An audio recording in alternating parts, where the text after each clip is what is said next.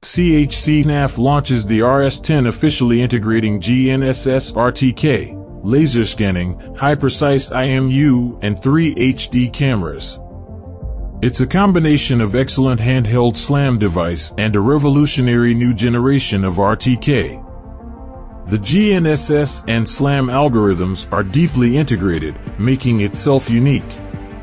Innovative SFIX technology enables more flexibility.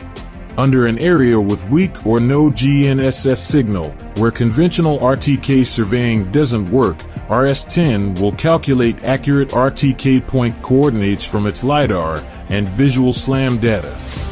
RS-10 ensures a precision of 5 centimeters within 1 minute without satellite signals.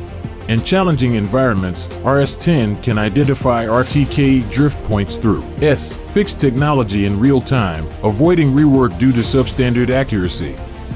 RS-10's VLiDAR technology offers a new mode of RTK surveying that combines GNSS rover lasers scanning for contactless offset measurements. By simply selecting the measured point from image scene of Landstar software, the coordinates are calculated in real time from the intersection of the RTK origin line and the LiDAR point cloud has accuracy of 5 centimeters within 15 meters, avoiding the issues from unclear targets, vibration, unstable data processing, and unstable accuracy in traditional contactless measurements.